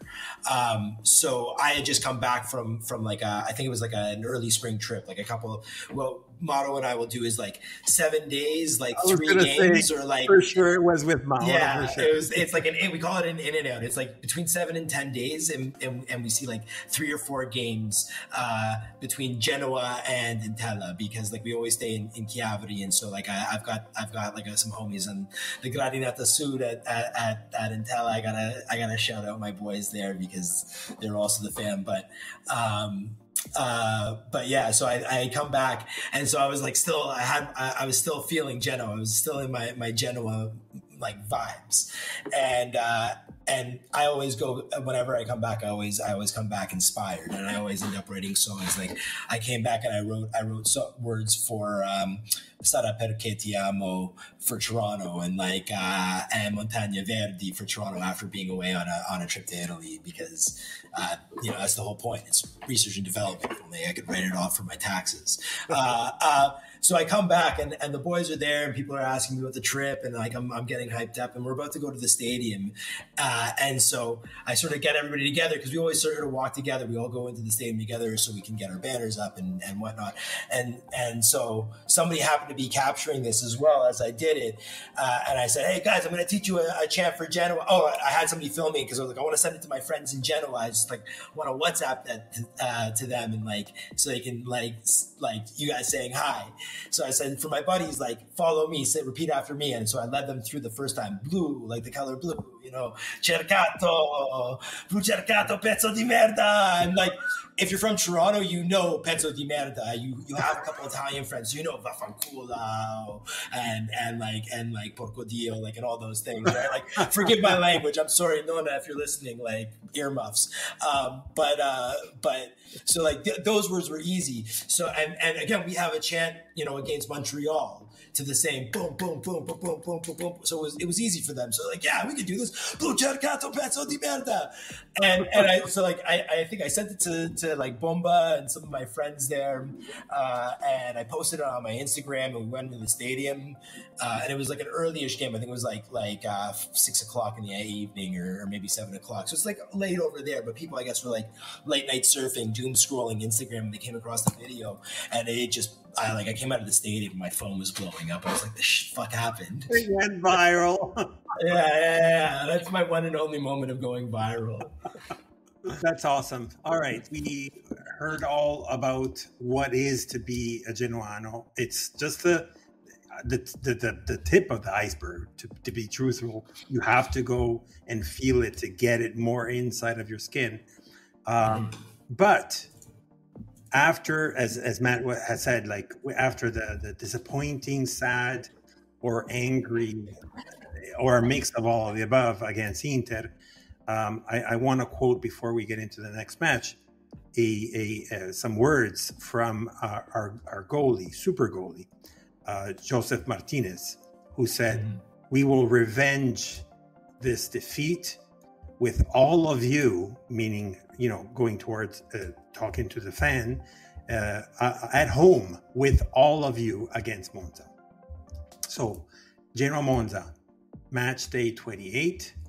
It's going to be something else, or is it going to be because virtually everyone's saying virtually we have the safety from relegation?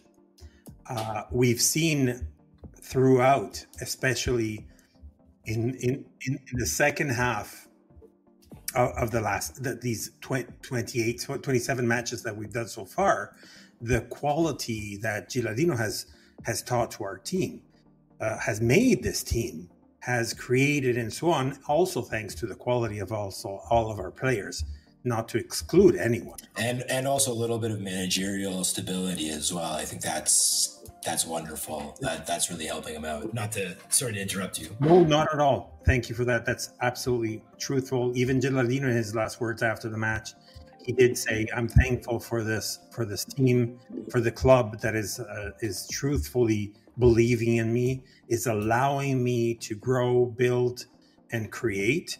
And that's super incredible and important for for a manager, for a mister, as you said. Mm-hmm. And so, next one coming up on Saturday, Genoa Monza. Monza with our beloved whoever lived Genoa in the 90s uh, or in the 2000s actually with uh, with uh, Milito also had another great player that actually is very dear to our hearts anyways is uh, Raffaele Palladino. So we've seen one of the first times that you see an emerging emerging uh, coach that was actually a forward. Usually you see either defenders or midfielders, and he was actually a mm-hmm. forward. So he's going against what the belief is. And Gilardino is another one too, right? So this is a mm-hmm. different type of trend. So two great names. because Raffaele Palladino might have not been to the levels of Gilardino, but for us, they're equally important. Yeah, yeah, and it's like it's like being in a glass box of emotions to take a quote from Anchorman when when when something like this happens as well because you also want to see a player like that with that with that history with the club do well just not when they play us. And like so to speak about that duality really quickly uh, I haven't watched actually the the the the Inter game yet because I was busy um, and so so I've been meaning to watch it. And and not only because I want to see Genoa play, but also because there was a Canadian on Inter who came on as a substitute, Tajon Buchanan. Mm-hmm. And so, like, unfortunately, I, I, found myself watching Inter games quite a bit these days because I'm trying to support that. But like, I'm very conflicted about it's like, you know, like I want to be happy when I see Tajon come on, but like, God, I hope somebody breaks his ankles in those like 30 minutes. Not actually, we need him for the national team, but you know what I mean? Like, it's it's a it's a strange feeling. Um, but this game is a must win, right? Like virtual virtual safety is not actual safety, right? Like, like, uh, uh, we don't have we don't have salvation yet, uh, and there's still a long way to go. And if we're gonna and if we're gonna be able to to to stay in Serie A and and you know like continue on this project, Monza, who is a team that's that's you know like sitting right ahead of us, um, is like an absolutely must win. If we if we draw with them, our record is the same, right? Like it's um, what is it? Yeah, three points so, apart, right? Yeah, right. Like like that's that's that's right where we need to be. I think at this stage in the project, first year back in, in A, um, you know, like giving the manager the keys and, and, and the faith and, and the support to build his team and to play his team his way. Um, so it, it, this is one of those games where it's like, yeah, they're not a, a big team. Uh, this is one where, where, where we must win. And it doesn't necessarily have to be pretty as well. Like, like, but it, we, we have to figure out a way of winning it. So, uh, that's because that's going to help us in, in, a, in a long way in, in, in our, our journey to stay up. And, and again, like, as I said, I'm a Spurs fan. There's a saying in football called being Spursy. And, and like, so maybe I'm just, I'm, I'm just like, you know, used to it, but like I never, I nothing's safe for me until until, as they say, you know, the final whistle. So um, we need these three points, and and I think as, as you know, as Martinez said, like we need that momentum because actually there's been some incredible momentum this season.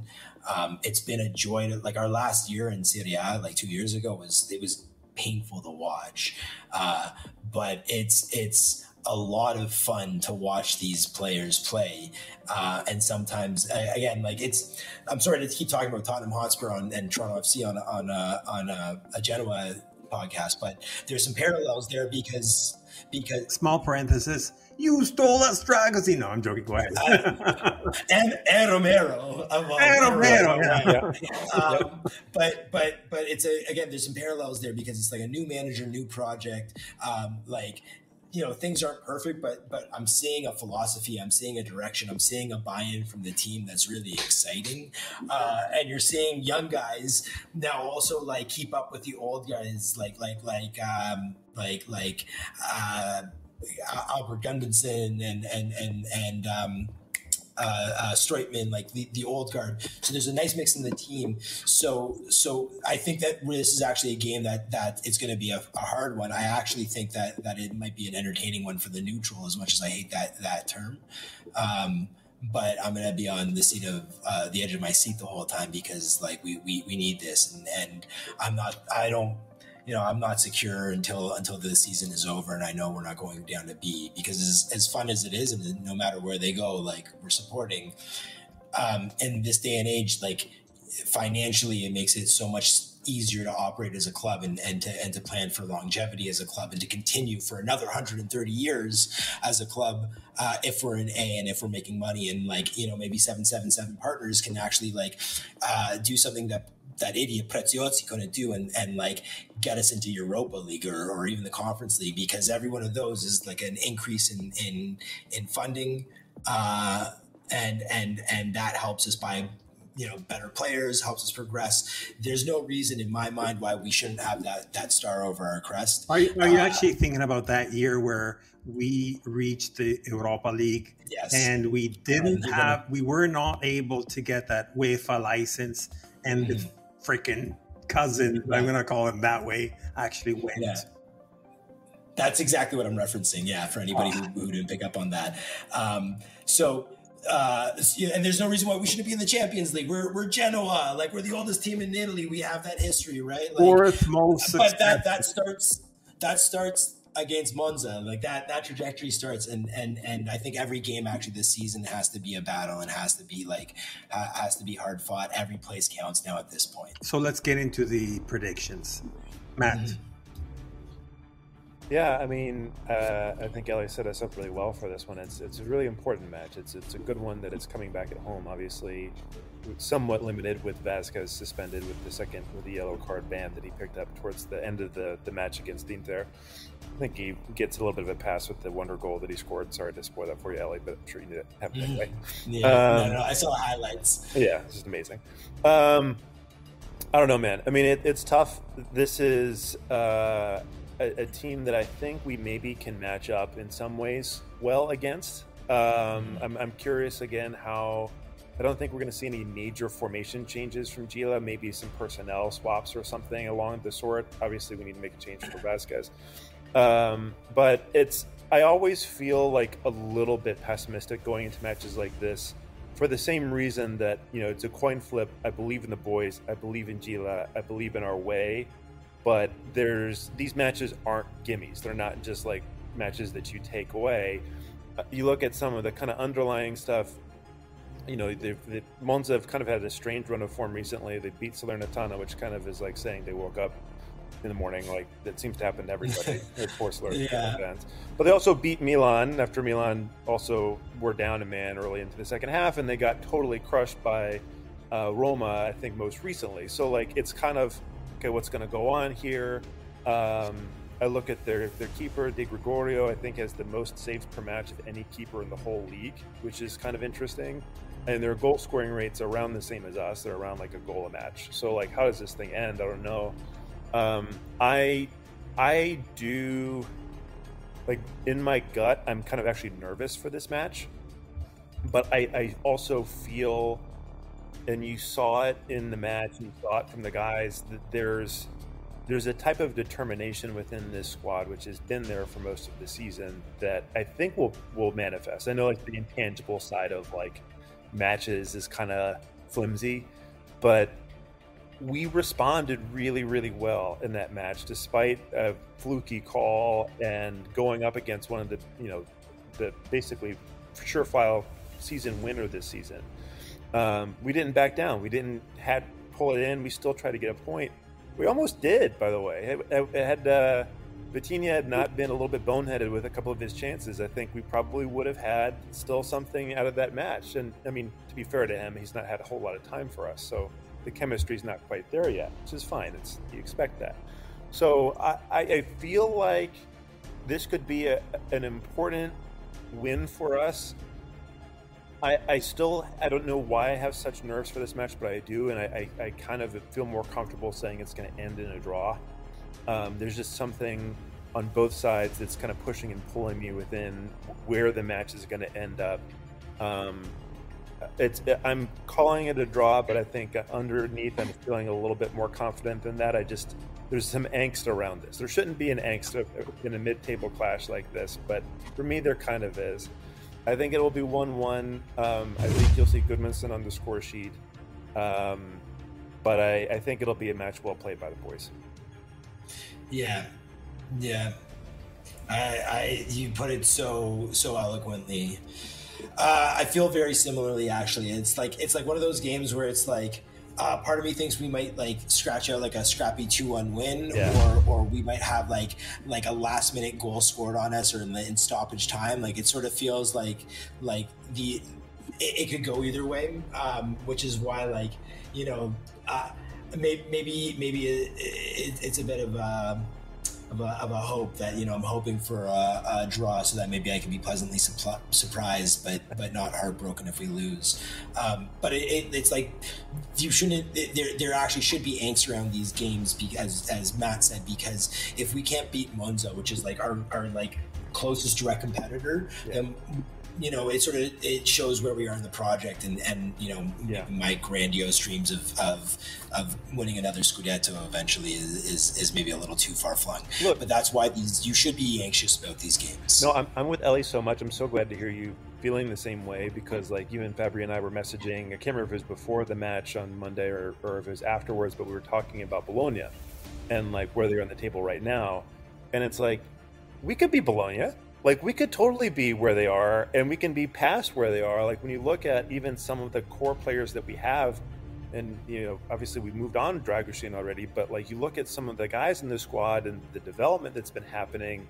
You look at the Genoa for a long time has had a reputation of being just this incredible experience. Like guys like Thiago Motta and others would say how amazing. I mean, I guess maybe interesting in bringing him up in that instance, but saying how amazing the fan support was. Hernan Crespo, I think, said similar stuff, even coming back to Chelsea afterwards. Like these guys were so amazing; it was a different level. So you have development, you have atmosphere, you have uh, opportunity, and, and in concept that can really work for us and we're seeing other teams have success.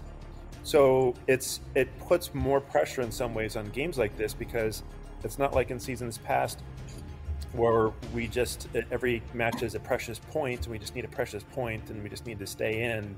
Like there's an idea that feels more and more at risk the less that you're able to win matches like this, which is I think why is it, it becomes a little bit nervy. So- Yeah, and it started to slip. It's it, there was like a recidivism. Uh, there was like a long backslide of games just like that, just like us, like Yeah. You know, not showing up for. Uh, like there were a couple times where we like I think we beat Juventus or like we beat Roma unexpectedly, but then we we would lose to to Frosinone or something, Right. right? Like and it's like, well, hell. So so yeah like and and and i think for any fan long suffering fan like if we lose a game like this it's sort of like there's a little bit of, of that ptsd of like oh no here we go again right like um and so and for the sake of of, of the, the the fans blood pressure and, and mental state like we need to win this game but that isn't that just football in general Yeah, yeah. That I'm actually going to go a little. Sorry, I'm, I'm, I'm actually going to go a little bit different. So I'm going to start by saying I want to bring back this feudalism, meaning I I wasn't there obviously, but 1925, 26. I'm not, if I'm not mistaken, is the year of the Scudetto of the guns. They called it. The Scudetto delle Pistole, where we lost the Scudetto because in the days of the fascist era, uh, that's when Bologna actually was crowned uh, for, for that Scudetto, which was our 10th. It was the start. And since then, we're, we haven't gotten anything, of course. But that's on the Bologna remark. Now, when it comes to, to Monza, I think you're right. Like when you say that this is the the team that, if you really, if you think about it, this was like what ten matches ago. It was uh, sometime in December. We were tying uh, 0-0 in Monza. Uh, Monza still remembering what, what they were last year, meaning the surprise, right? And I think that indirectly, it's not as obvious as they were last year. We are the surprise. We are some could claim that it's Bologna, but I personally think Genoa is is a surprise because all what Monza is doing is, is is staying at the same level. Bologna has been building up up until now, even though it is a pleasant surprise not to see the typical Six Sisters.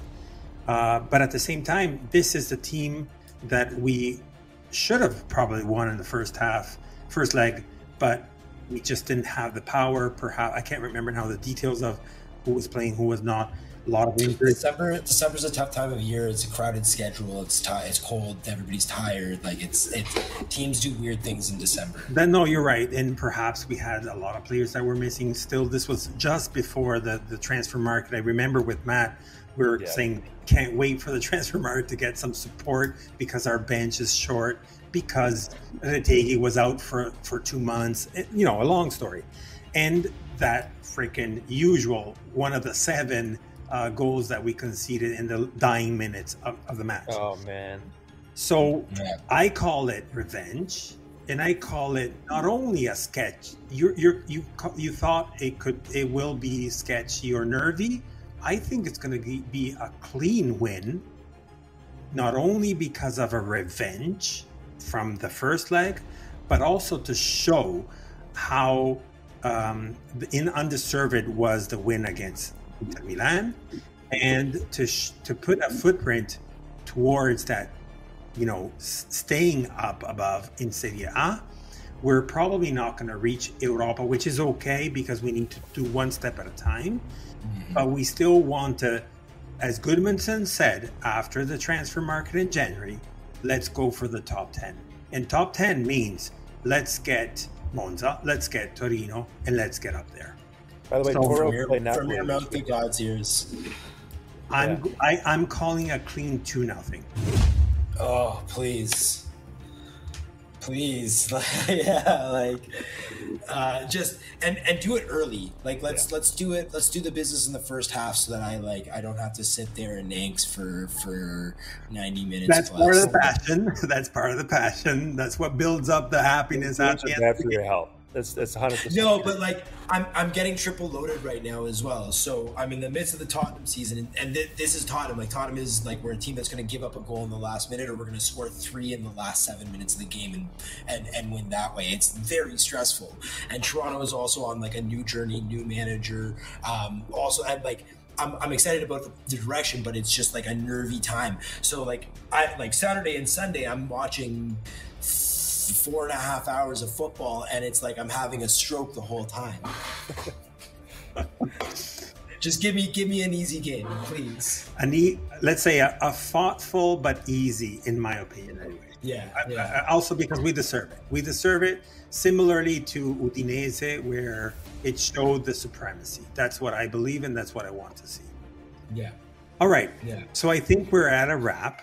I wanted, we wanted to, in normalcy, say thank you to Eli for being our extreme fantastic guest. Uh, to bring back memory lane uh, memories or even understand better. And here I'm putting a quote unquote, which I know he's not going to listen to it because just how we know how who he is. We had a previous guest. His name is uh, William Imovilli, and he's a part of the core in, in Gradinata. To bring back and, and listen to more understanding of what Ultras is all about. And, and we wanted to really thank you for that. That was really awesome. And especially for that blucerchiato pezzo di merda. It's like forever. For, forever and always, Blucerchiato Pezzo di Merda. And and yeah, thank you for having me on. It's a pleasure. Like I, I my favorite thing in the world is to, to talk football and especially to talk Genoa because everywhere I go, I, I sing the praises. And and hopefully next winter I'll be down at the Bombonera in Argentina with the with the the Rosso Blue flag. You know, because uh, everywhere I go, I bring Genoa with me as, as much as I bring Toronto with me. So yeah, so thank you, thank you for this for the great chat. Small parenthesis, we need to get that thing straight, like with the Bombonera. It's like even some Doria fans went there and, and they claimed it their own and so on. Enough already. Well, we, we were arguing with uh, the presidents were arguing with each other before Sampdoria was even like like merged. So Right. like that again, it just goes to show you they they're sick in the head. You know, they like and, and there should be no stigma, but they need the care that that, that they deserve, right? So so pray for them. but yeah, boys, take care. And uh, to all of your listeners as well, if anybody finds themselves in Toronto, reach out to me. Uh, you can find me on on Instagram. It's it's Eli Zeldin. It's my name, and and we'll bring you to the Gradinata. You'll recognize some songs that we've put to English words to, and uh, you'll you'll become a Torontonensis uh, the same way that that I became a Genoano. That's awesome. Thank you very much again, Ellie. And never forget, everybody, Blue cercato, pezzo di merda. always and forever. Genoano. Ciao, guys. Thank you so much. Now, Bye, guys. You've listened to La Lanterna, a spotlight on Italian football, a podcast powered by Genoani si resta. Thank you for listening and see you next week.